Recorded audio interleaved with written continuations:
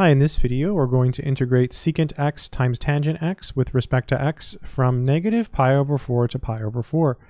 Let's go ahead and work this out. Solution. So we have the integral from negative pi over 4 to pi over 4 of the secant of x times the tangent of x dx. And so we'll start by asking the question, um, how do we integrate secant x tangent x? So in other words, what's a function whose derivative is secant tangent? Well, secant. Right, if you take the derivative of secant x, you get secant tangent. Therefore, the integral of secant tangent is secant x. This is a definite integral, so we have to write our limits.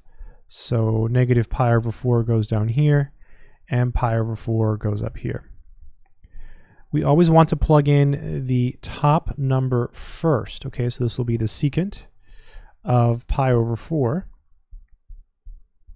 minus the secant of negative pi over 4.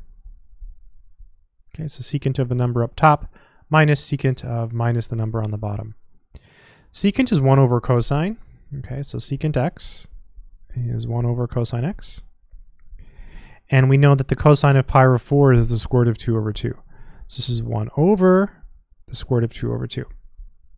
Minus secant of negative pi over 4 is also square root of 2 over 2. So this is 1 over square root of 2 over 2.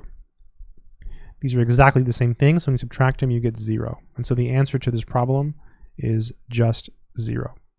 I hope this video has been helpful. Good luck.